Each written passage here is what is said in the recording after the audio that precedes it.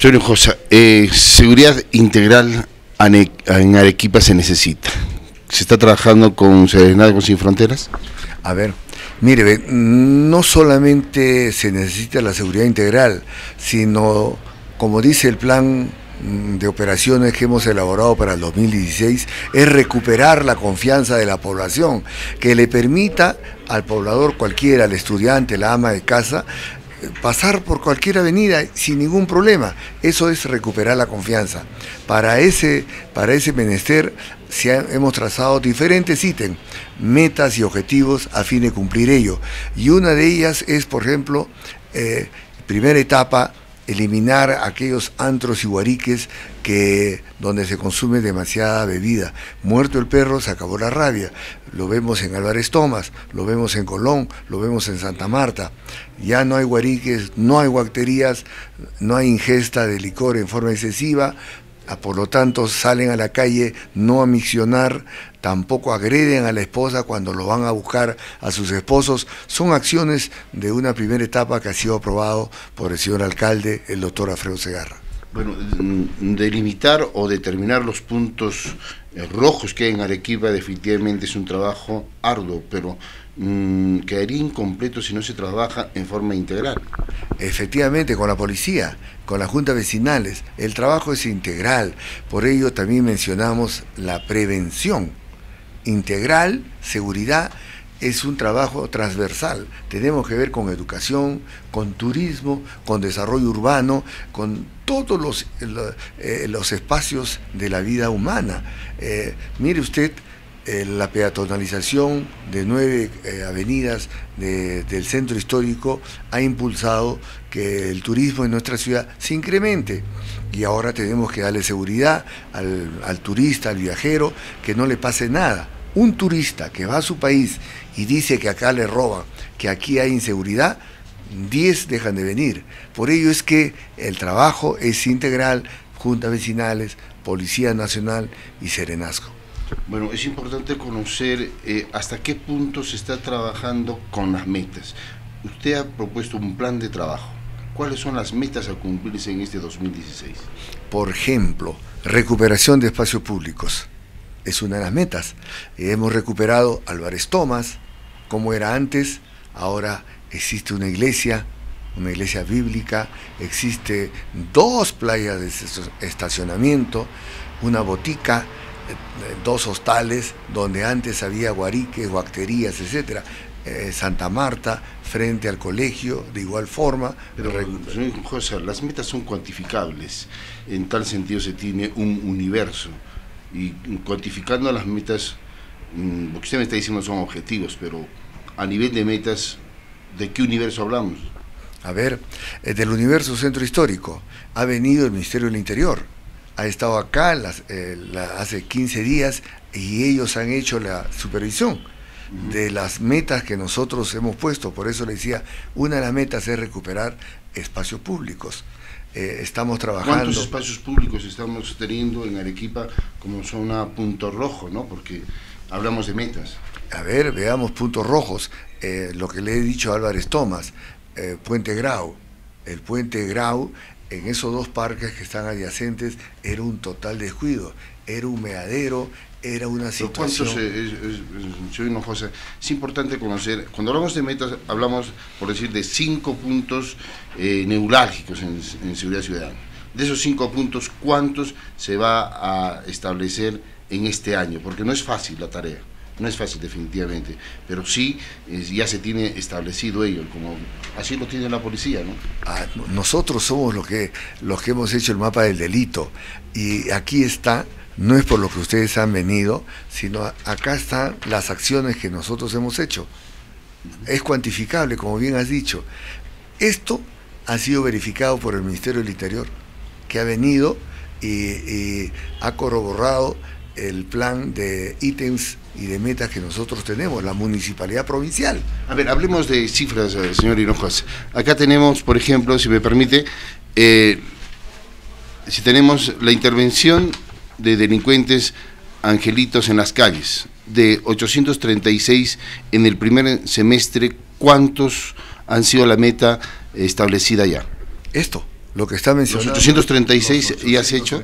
¿Este es al 100%? Al 100% y están los, eh, los, los documentos de intervención, está registrado en el archivo. Ellos, el Ministerio del Interior, la, la Dirección de Seguridad Ciudadana, ha verificado verificado. Estamos hablando de un primer semestre de 836 individuos en delincuencia, intervención de hurto de celulares, 334. ¿Cuál es. el universo? El eh, depende, porque no solamente el universo es en la calle, eh, llámese eh, Víctor Lira, Perú, Peral, porque ellos también van, de un lugar a otro. Nosotros tenemos un proyecto que se llama Juventud Segura y, en Juventud Segura aseguramos que el joven no le sustraiga, no, lo, no, no le roben su celular. Por ello es que el universo puede ser diferentes calles. Lo que se presenta y lo que se captura es lo que está viendo usted en esta estadística. Según estos reportes, con este juego Pokémon que se ha establecido, eh, ¿se ha tenido un incremento de la, ah, del hurto de los celulares? Sí. sí ¿Por qué? Porque el joven expone el celular a vista y paciencia del delincuente. ¿Y cómo actúa? Eh, son dos, a veces dos o tres delincuentes. Uno neutraliza que el chico recupere o lo persiga y los, los otros se corren. La, la, intervención es, una modalidad eh, que ellos han adoptado. ¿no? A veces dos impiden que el chico o sus amigos eh, los persigan al ladrón y este se, se corre en la calle. Pero nuestras cámaras ha permitido la identificación la ubicación y el seguimiento de estos sinvergüenzas. ¿Para qué? Avisa a Serenazgo e inmediatamente nosotros intervenimos. Bueno, eh, definitivamente esto eh, lleva consigo a que se ha establecido un plan de trabajo, Serenazgo sin fronteras, ¿verdad? Así es. es eh, mañana tenemos dos operativos dentro del plan de Serenazgo sin fronteras, con un distrito, con dos distritos, ¿no? Toda vez que hace 14 días, y así de claro les digo, en el centro histórico mayores problemas no hay, excepto el día de ayer, hoy día, perdón, 4 de la mañana, dos sinvergüenzas con cuchillo, con arma blanca, trataron de asaltar a una señora con su hijito. Inmediatamente las cámaras lo divisaron e intervenimos, ¿no? Y han sido capturados y llevados a la comisaría. Bueno, definitivamente este trabajo es coordinado con las municipalidades distritales, se tiene esa comunicación tanto a nivel mm, propiamente dicho de equipos celulares o boquitoquis como se ha establecido este sistema de comunicación y también del personal del otro municipio? Eh, mire, hay, hay distritos que están siendo capacitados por nosotros eh, con el uso del radio Tetra, que es el mismo radio que usa la policía, con el uso y capacitación de, de, los escudos y de los cascos, de las varas. La vara no se, no se usa así, así libremente, no se le puede golpear o, amedrentar a un delincuente en la cara en la, en la parte eh, ojos, eh, en, en, la cabeza, solamente en las partes blandas. Esa capacitación lo hemos hecho en algunos distritos que nos han solicitado y Serenazgo Sin Fronteras se está aplicando en forma conjunta con la policía. Los delincuentes no tienen frontera y ¿por qué nosotros sí vamos a tener? Ese es el objetivo que se ha trazado el señor alcalde y lo estamos haciendo. Bueno, definitivamente uno de los álgidos problemas que cuenta el Perú es la seguridad ciudadana y al respecto el gobierno central estará tomando las decisiones del caso. Mm, pero mm, aquí cabe la, gran pregunta, ¿no? Hay personal de Serenazgo que está destinado en determinados puntos, como usted lo ha manifestado, vale decir la prolongación de la Mariscal Castilla, estos antros de perdición que existía, algunos están, y hemos podido verificar nosotros, están funcionando a puerta cerrada y está la presencia de eh, algún efectivo de serenazgo. Nuevo amanecer, según mm, nos manifiestan, es de que está funcionando. Mm, ¿Cómo se está viendo ello? ¿Es una traba que se tiene a nivel eh, legal o es que de alguna manera se filtra una mala ejecución de seguridad ciudadana. A ver, veamos. Estamos hablando de Jesús. Así es. Jesús, más de 20, 22, 24 años, ha funcionado con la aceptación o digamos eh, la anuencia de las administraciones anteriores. 24 años que nunca se les, se les puso el pie. Ahora, el señor alcalde, el doctor Alfredo Segarra y Serenazgo, lo cerramos, con apoyo de la comisaría de Bustamante Rivero. 24 antros, prostíbulos han sido clausurados. Estos dos que usted menciona están en, la Corte Suprema, en la Corte Suprema, y ahí eso nos impide intervenir, pero los, los de Jesús se han clausurado, se han cerrado, y para que algunos nos han denunciado, todos nos, me han denunciado, y también al señor alcalde, pero eso no evita que retrocedamos ni un milímetro. Lo avanzado está hecho y mire cómo se ha recuperado ese espacio público que antes no se podía transitar, que es la Avenida Jesús. Bueno, definitivamente, ¿cuánto personal? Porque hemos visto cuatro a, a cinco unidades vehiculares, están casi toda la noche, desde muy temprano, y así van rotando no es demasiado el, personal porque ya se supone que ha sido cerrado, ¿no? A ver, son dos ahora que hay. Hace una semana hay, solamente dos vehículos y a partir del 1 de septiembre va a haber un vehículo. Antes hemos tenido que poner hasta seis vehículos porque estos señores eh, contrataban 14, 15, 20 vigilantes privados y querían ingresar. Hemos tenido peleas, hemos tenido grescas con apoyo de la policía, la UCI, Serenazgo. Hemos rechazado. Imagínense, imagínense ustedes que nuevamente hubieran querido eh, eh, actuar o trabajar estos prostíbulos, intoxicando nuestra juventud. Ese es algo que el alcalde nos dijo que tengamos mayor energía y coraje a fin de evitar. Y lo hemos hecho. El comandante Ramos de Bustamante Rivero y Serenazgo ha puesto el pecho y usted lo ve. Pero Serenazgo Sin Fronteras es precisamente coordinar con las otras municipalidades y la realidad nos dice de que todos estos antros de perdición se han trasladado más arriba en la jurisdicción de Paucarpata. Se está coordinando esto también porque hay muchos que están se han reubicado, como así podría decirse, en este sector. ¿Se está coordinando también esta intervención? Sí, ustedes hablan, bueno, por un parecer ¿no? Lo que nosotros tenemos son estadísticas. Es correcto lo que mencionas, en algunos no a Paco Arpata necesariamente, sino a otros sitios, pero la mayoría, la mayoría ha cambiado de giro. Y yo le puedo mencionar San Pedro, eh, ahí hay una, playa de estacionamiento. ¿Quién es el dueño? Uno que estaba en Jesús han abierto restaurantes, se han dado cuenta que toda la vida no van a estar trajinando y empleándose un prostíbulo. Han cambiado de giro, han puesto restaurante. Entonces, si es cierto lo que mencionas, pero no todos, han entendido que el cambio de giro es más, les sale, es más remunerativo para ellos. Ganan más una playa de estacionamiento. ¿Se, ha dado opciones de cambio? Nos hemos reunido con ellos, yo les he explicado.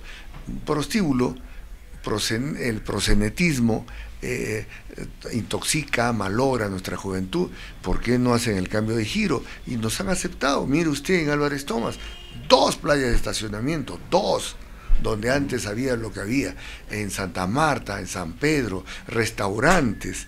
Entonces, han entendido, pero sí hay algunos que todavía persisten y tendremos que seguir trabajando dentro del programa de Serenazgos sin Fronteras. Definitivamente eh, esto lleva consigo a que estas intervenciones que ustedes tengan sea personal capacitado. Finalmente, se debería, persiste usted en que se tenga que tener por parte de los efectivos de seguridad ciudadana armas no letales.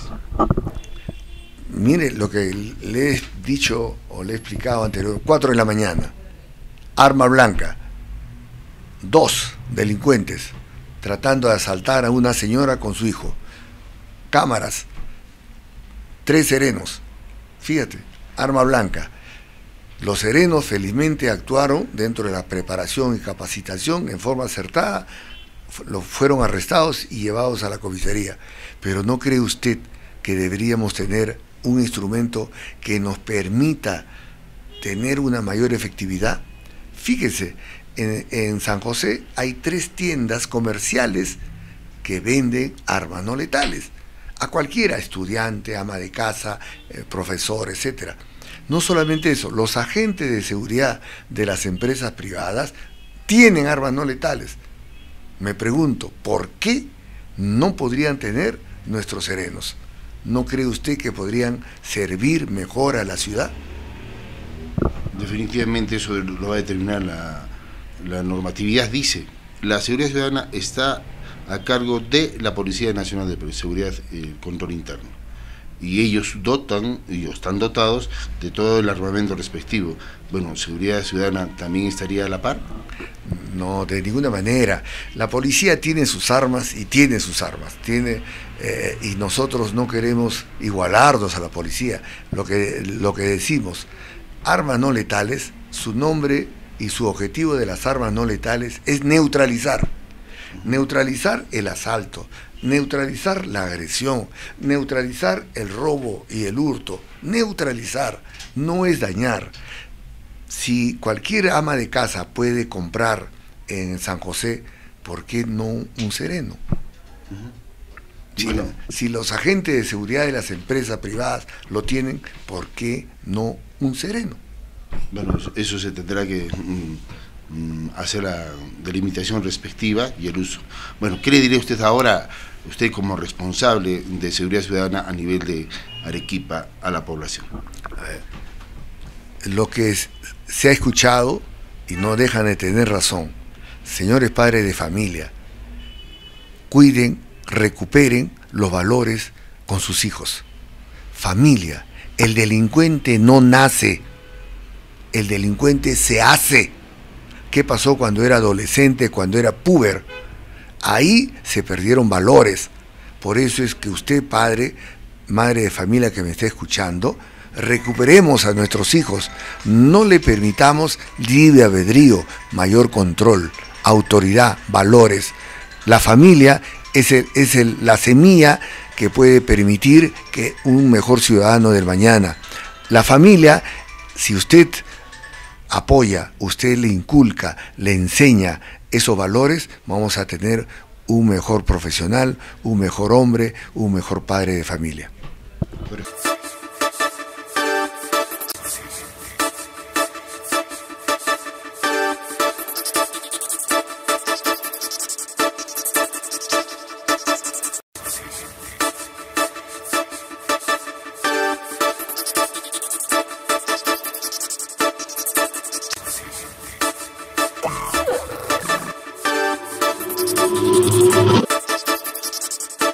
Somos socios, compartimos un esfuerzo y un destino y por eso vamos siempre junto a ti. Presta Perú, cooperativa de ahorro y crédito del Perú, más que servicios financieros. Somos socios.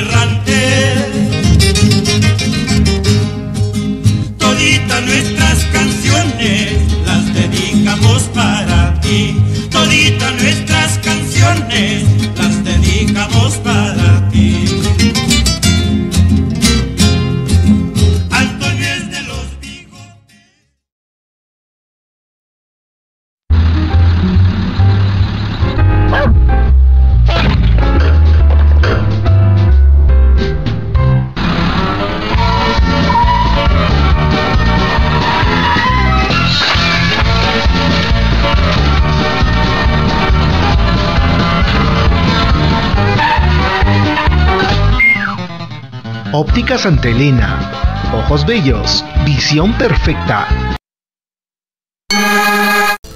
La Pachamanca de Don Beto no solo es un restaurante donde se deleitan los paladares más exigentes en sus diversas combinaciones de carnes, y como no solo de Pachamanca vive el hombre, tenemos una variedad de potajes a su disposición. Pachamanca de Don Beto, urbanización Villa Manuelito de 1, vía principal a Cerro Juli, teléfono 426767.